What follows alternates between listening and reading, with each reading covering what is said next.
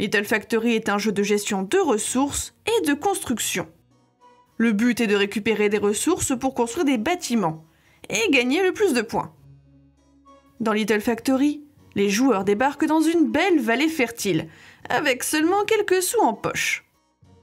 Les ressources sont représentées par des cartes et placées sur trois lignes suivant leur niveau.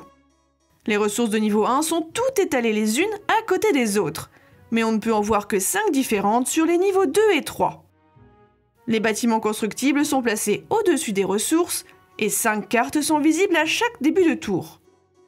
Le coût d'une carte est inscrit en bas, au centre, son coût en ressources à gauche, en pièces à droite.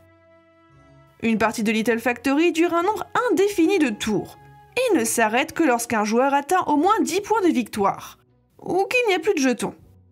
Celui qui a le plus de points gagne immédiatement. Lors de son tour, le joueur actif a le choix entre deux actions, produire ou échanger. Produire permet de prendre une carte de la zone de jeu en payant son coût en ressources. Certaines ressources doivent être défaussées, alors que d'autres peuvent simplement être révélées. Échanger permet d'acheter des cartes de la zone de jeu. Le joueur commence par défausser une ou plusieurs cartes de sa main pour en gagner la valeur en pièces.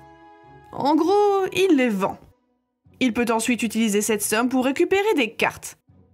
Mais attention, s'il défausse une seule carte, il peut en prendre plusieurs. Et inversement, s'il en défausse plusieurs, il ne peut en prendre qu'une seule. Qu'il produise ou échange, les cartes ressources sont placées en main et les bâtiments devant soi. S'il est important d'acquérir des ressources, il n'est pas possible de faire l'impasse sur les bâtiments. En plus de rapporter des points de victoire, la plupart possèdent des capacités spéciales. Ces capacités permettent généralement de gagner des points de victoire ou des ressources si elles sont disponibles.